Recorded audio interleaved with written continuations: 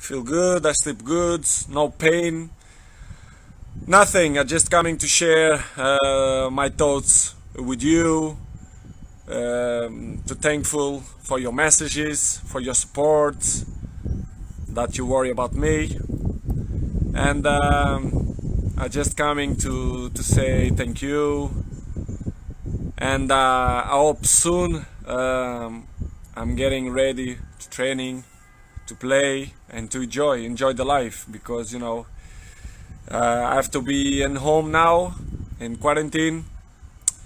Uh, my family is in another floor. We cannot have uh, contact, as Low say, but it's okay. It's not a problem for me. When you are good here, the rest, it's not the most important. So thank you guys. I'm gonna continue to speak in Portuguese.